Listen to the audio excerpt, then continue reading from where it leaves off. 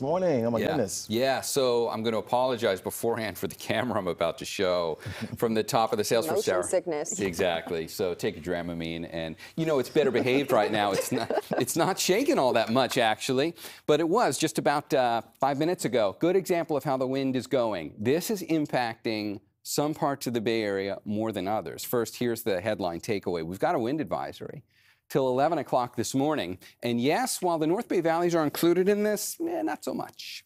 Hasn't been too windy up there, but in the East Bay valleys it has. And the biggest impact on this is that drive over the Altamont Pass. If we pull out some of the details over here in the East Bay, the brighter the color, the stronger the wind. Look what's going on through the Diablo range here, going right across where 580 has to drive through it. We had a 60 mile an hour gust on the Altamont Pass about four hours ago. It's now down to about 30, still windy, but not as bad as it was. Meantime, 680 and 580, 20 mile an hour gusts over here. This is one place where the winds will be felt, but there's another one. Let's go to the other side now of the bay and take a look right through the San Bruno Gap. These are northwest winds, which means they're perfectly oriented to squeeze right through that gap in the mountains on the south side of San Bruno Mountain. So San Bruno, you feel this more than others. So does the airport. This is why it's always so windy at SFO, especially on northwest wind days.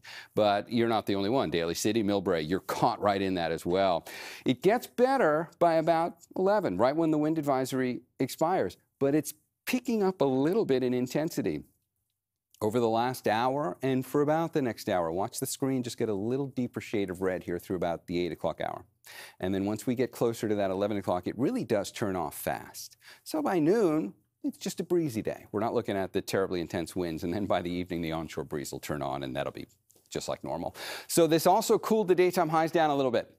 Same system that turned on the wind, brought in cooler air. We only go to the upper 60s today add a little bit of a wind chill on that because of the breeze, and it'll feel cooler today because of that. And this is the bottom in the whole seven day forecast in terms of temperatures because after today, we're going to start warming back up again. You really see it when we take a look at, uh, so we'll pull out some of the microclimates like San Jose from 65 today to 73 tomorrow, and then mid 70s over the weekend. And if we look at those inland valleys where you really notice the widest swings uh, from the upper 60s today to the mid 80s by Tuesday next week, we've got a noticeable warm up coming our way. But even this weekend, you'll be near 80.